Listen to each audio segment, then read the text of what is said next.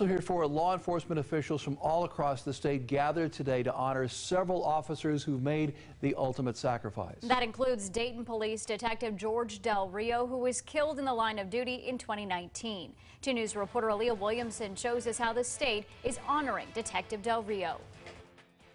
In this field, there are more than 200 flags, each representing an Ohio officer who gave the ultimate sacrifice and died in the line of duty. Today, seven more were added, including one for Detective George Del Rio from Dayton. It's been nearly a year and a half since the family of Detective George Del Rio lost their loved one while he was working to serve a drug warrant. And probably quite some time since they lost their loved one. You never really ever get over something like this, or you never forget, nor, nor really should you. Thursday, dozens gathered at the Ohio Peace Officer Training Academy to remember and honor Detective George Del Rio and six other officers who died between 2019 and 2020.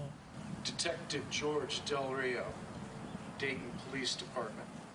End of watch, November 7th, 2019.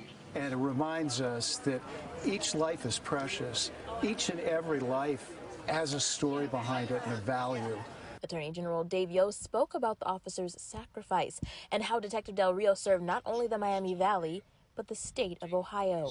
His example uh, is uh, huge, not only to uh, his fellow officers, but also to all of us who sometimes feel like the problems just get too big. Del Rio's name now joins 809 others, permanently etched in stone to remind all of the sacrifices of law enforcement. You know, it is always a positive thing that we're saying thank you and that we'll, even during these tough times, we'll keep doing what we're supposed to do uh, to help the community and the, the people out. Aaliyah Williamson, 2 News, working for you.